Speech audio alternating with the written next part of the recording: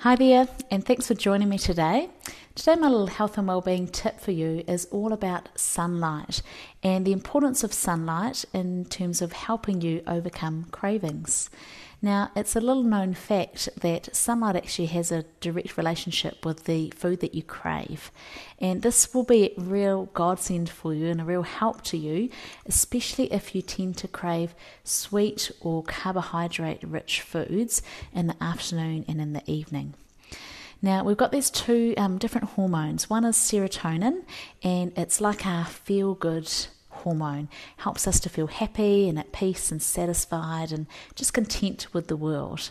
And we have another important hormone called melatonin, which helps us to go to sleep and to stay asleep throughout the night. And they're in an inverse relationship. So when one is high, the other is low, and vice versa. So, when you wake up first thing in the morning, you tend to have higher levels of melatonin. And what that means is, you know, that's great to have helped you sleep through the night, but what it means is that your serotonin is low. And so, my tip for you today is to head out, get sunlight into your eyes and onto your skin first thing in the morning. Now, the idea would be to head out for a nice walk for five minutes or more, maybe just a walk around the block.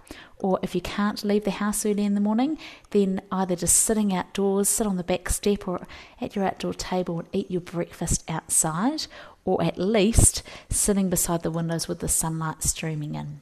Now, even on a grey day, sunlight is what you need, so you can still use this tip right throughout winter and, and in poor weather. So, what it's going to do is it will boost your serotonin levels, which helps you to feel fantastic and keeps them higher throughout the day. And if you don't do this, it means that you won't have um, diminished that melatonin, and the serotonin will be will be lower. So it means that you'll be feeling a bit lower in your mood.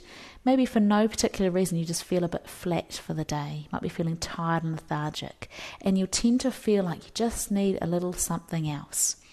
Now, innately, you will know that uh, if you eat carbohydrate foods, it will boost your serotonin a little. So you can end up in the pantry before you know it, downing a snack that you didn't really perhaps need for that day, just because you're trying to boost that serotonin.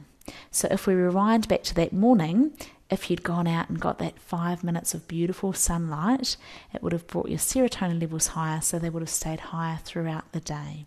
So that's my tip for you today. To overcome cravings at a physiological level, it can be related to your levels of serotonin. So get out in the morning, five minutes, head out for a walk or eat your breakfast outside. Try it for the next two weeks and just see what a difference it makes. See if you can um, jot it down in a journal or a diary or just on a piece of paper somewhere and just see how you're feeling in terms of your cravings and how much it's helping you.